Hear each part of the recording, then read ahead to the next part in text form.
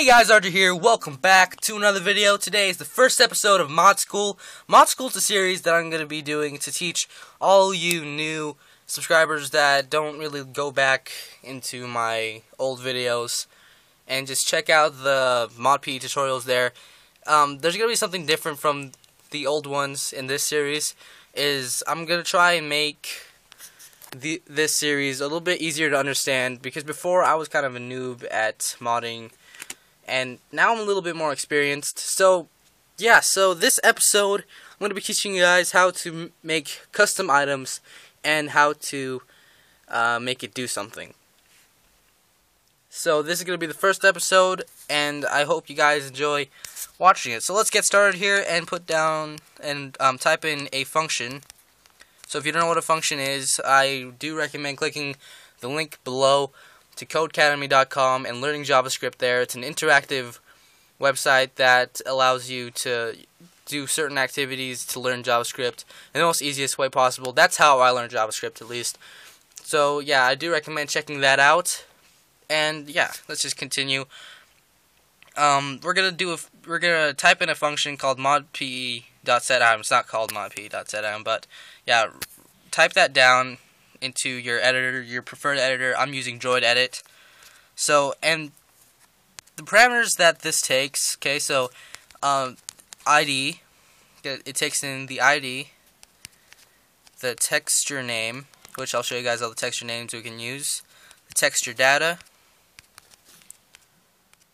and uh, the just the regular item name. Alright, so we're going to go ahead and change that. We're going to try not to overwrite any item, and we're just going to go up straight to 500. That's the item ID is 500. Um, you're going to put in the texture name, so we're going to go ahead and look into a website by Zhuowei himself, who actually develops uh, Block Launcher, and he made this site right here to help you guys use any item texture, just not in this part, like right when it starts at the apple right here because it says it's the items now.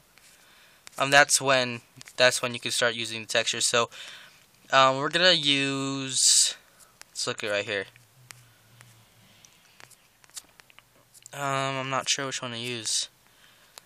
Uh, let's see. I want to use the fireworks. So let's go back into.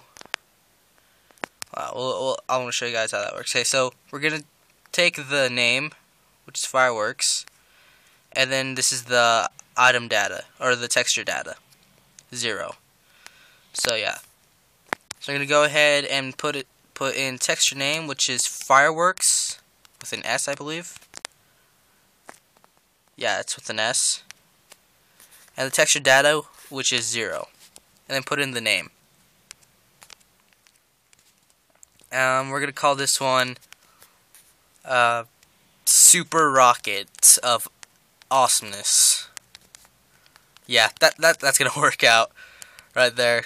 Super rocket of awesomeness, and um, we're gonna make it do something. Uh, we're gonna go ahead and put down a hook. A hook is technically a function used by the game itself. Um, when you tap on a block, it calls the use item function and it puts in parameters just like what we're doing right here. The, instead the game is doing it itself.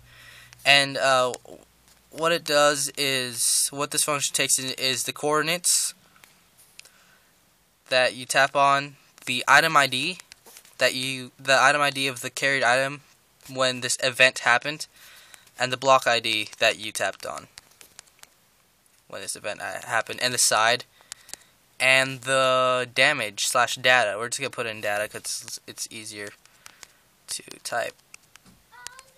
So data. So you know, um, I'm gonna tell you guys what data is first.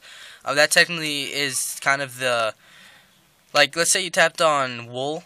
If the data uh, parameter was not there, it would just return just white wool, which is the basic wool.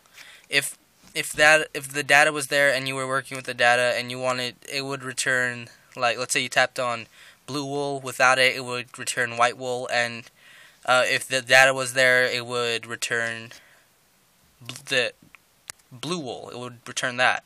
So that's very useful. It wasn't there for the first few um, first few moments. I don't know the first few versions of Mod PE, but now it's there. So we're gonna put that into use in later episodes. So we're gonna go ahead and do an if statement. An if statement allows you to kind of control how the script works. So um, right now what it does is use item. It happens whenever you tap on a block. But if you do an if statement, it it makes sure that the condition that you put into the if statement is true before it happens. So let's say um we're gonna actually just go into it. Item ID equals 500. You need to put e two equal signs right there, or three, but two equal signs is fine. So if item ID equals 500, that technically means only if the item ID, only if the carried item is is the Super Rocket of Awesomeness, that it will do client message, which is another function, just a basic function that you guys need to learn. It prints text to the chat bar. So this is technically what uh, a lot of modders use just to give themselves credit for just making sure people don't forget their names or something like that. So this is a lot what a lot of modders use. It's a it's a first function that you guys should learn. So client message, and we're just gonna put you used an awesome item.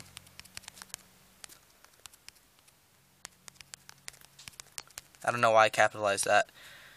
But yeah, so now if it's if item ID equals 500, uh, we're gonna go into block launcher here. Let's go import it. Go ahead and import. We're going to go into mod school JS. We're going to open up Minecraft, uh, this world. Uh, you oh, it's already here. Okay, so uh, see here we have the super rocket of awesomeness. Technically, all you have to do if you if you have um, single player commands you can do slash give 500 and we'll give ourselves like 32 of it. So here we have 32 a super rocket of awesomeness and if we tap on block on a block with it you used an awesome item. So yeah, so that's the that's all we're I'm gonna be doing for this episode. I can't talk. Um, yes, yeah, so thanks for watching. Make sure to leave a like if you like if you like this episode, if you thought this was useful. Make sure to subscribe for more. Uh, tell me what I should teach you guys in later videos because I kind of have a lesson plan. So, uh, yeah, so, again, make sure to hit that subscribe button, make sure to hit that like button, comment, and I'll see you guys later. Peace out.